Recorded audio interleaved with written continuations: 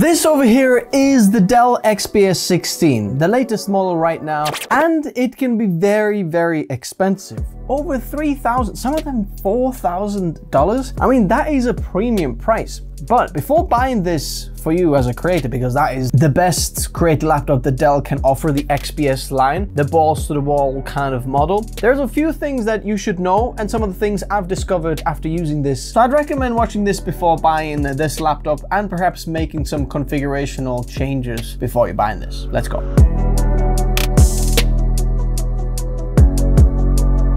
This part of the video is brought to you by Thermal Grizzly. Improve your CPU and GPU cooling with their Kryonaut thermal paste or the Kryonaut Extreme for the extreme overclockers. If you're on the Intel LGA 1700 platform, check out their contact frame that prevents CPU bending. And for the curious PC enthusiast, you might want to check out the WireView Pro. For all your high performance cooling solutions, check out Thermal Grizzly in the video description below. Number one first thing that I like to talk about is the actual build quality. This is probably the best build quality laptop that I have ever experienced on the channel. And that meaning Windows laptop quality. It's all metal, everything feels solid. There's no like screen flex, there's no chassis keyboard flex. All the edges, everything is smart, minimalistic, beautiful colors. I mean, look at the design even on inside. It's absolutely amazing. Next, in no particular order, good or bad sides, the keyboard. The spacing is a little bit odd. When I've been trying to type in here, I've often found myself missing the keys.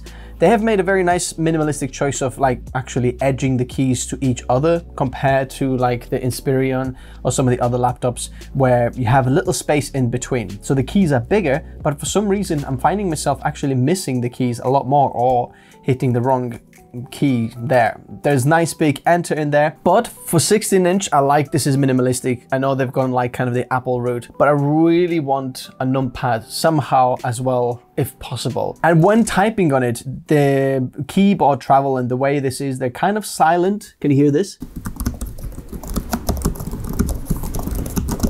It feels very premium, expensive typing experience. And there's no like keyboard flex, almost non-existent. Gives it a very solid kind of bottom base that you're typing into. Then the touchpad. And this was what I wasn't sure at first. Like seeing this, you're like, where is the touchpad? And it's somewhere here it's actually very large. The interesting thing is when actually using this, your brain just automatically just goes there to do this. And I've never once missed like the touchpad where I've tried to do something in there or something in there. You always actually find it in there. It's absolutely no problem. And I like that there's no kind of an edge in there. So you can just easily smooth in and you're just going all around the place. The touchpad is actually one of the best I have had in Windows laptops 2024. Full stop. It is amazing. It's haptic, the feedback, everything everything is truly amazing. The way it works is like Apple as good as you can get. That's like as good of a compliment for Windows laptop as you can get. Apple like. Let's talk about the performance. This is where things get a little bit interesting. Spent a long time and even discussing this with some of my other YouTuber friends like what was Dell thinking when they made this laptop? Because there is nothing like this laptop. It's kind of like on in its own league in a weird and good and bad way as well. It kind of doesn't want to compete with anybody and tries to be an alternative for people who looking maybe a Windows alternative to Mac. Hey, if you haven't subscribed yet, consider subscribing. And this laptop is linked in the description below. I'm gonna leave the 32 and 64 gigabytes version in there. Highly recommend going for the 64 gigabytes. Just go check them out, the latest pricing, because there's always deals on, so you don't wanna miss them or you don't wanna pay more just because you can uh, check out some deals in the description below. One of the main things Dell has done here is the performance whether plugged in or unplugged is very, very similar. It's not exactly the same. You do get a slightly more performance when plugged in, but it's not like amazingly different what you see usually on other competitor laptops where you plug it in and suddenly you get like 50% more performance or something like that on a GPU or CPU, something like that. Not on this one. It kind of pulls the same and tries to keep it the same, which is kind of the Apple approach, you know, where whether you have it plugged in or not plugged in, it just performs the same, which is nice. But at the same time, I feel like Dell has lowered the bar to a wrong place because the actual plugged in performance is now suddenly a lot lower than some of the other laptops or other competition because they offer so much more when you're plugged in and roughly about the same when you're on battery power. So Dell has kind of matched the battery power, but just not given us as much on the plugged in performance, which kind of just makes me like, hmm, what's going on in here? Probably because of the charger, but kind of an interesting discovery when doing this. Highly recommend checking out the video editing timeline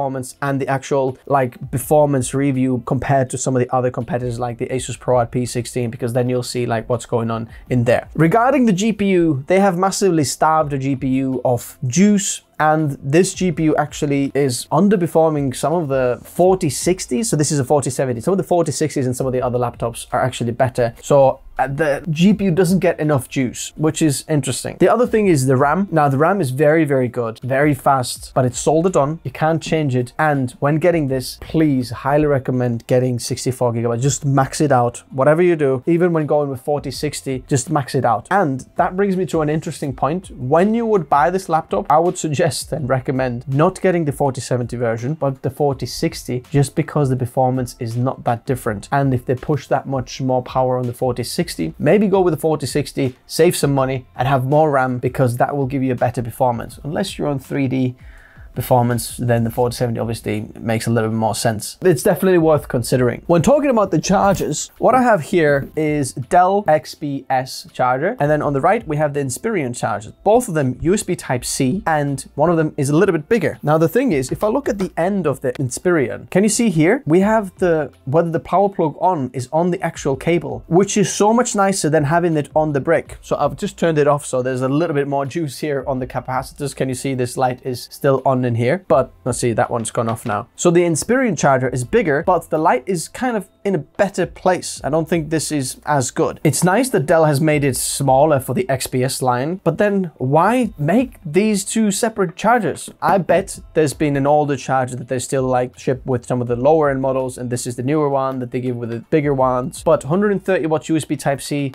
you know, I, I want some more power. They should have figured out a USB Type-C that gives 200 watts power because at that price point, I'm sure you can include that in the price. Then talking about the I.O., Apple kind like approach, but I'd say not as good in some of the ways. So you have two Thunderbolt 4 ports on the left side, and then one Type-C on the right side, headphone combo jack, and the micro SD card slot. So I've got a few things that I'm not happy with at this price point. This SD card slot, this is a micro SD card slot, should be full size, because the full size you can always kind of adapt to the small one, but the small one you can't do the full size, so you have to have a dongle with you. Then there's no USB Type A. You have to have the dongle that Dell has in the packet, you're gonna have to carry that with you as well, which is interesting. Also, if you've got an RTX 4070 model, like I have over here, the one on the right here is not Thunderbolt 4. If you've got the lower end GPU 4060, then the right side is Thunderbolt 4 as well. What's going on? Pay more to get less, Dell. What?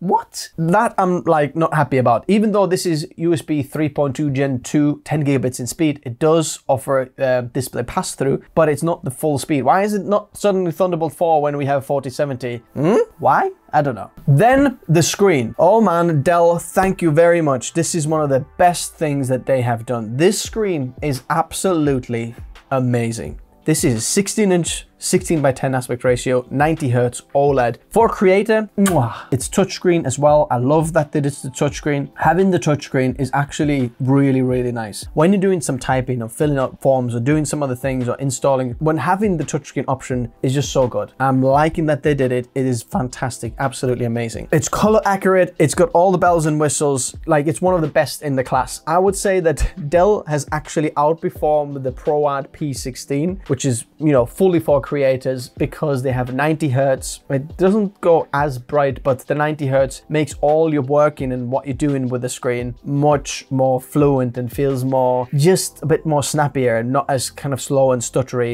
Just gives a much nicer user experience, whatever you're doing, even when just moving the cursor around the screen, if that makes sense. It's 10 bit as well. So for creators, if you are doing any creative work, you get a full 10 bit color space in here. It's truly a class leading experience on the screen. It's amazing. The speakers are very nice as well. I think the ProArt though, if you go have a look at the ProArt versus this like side by side.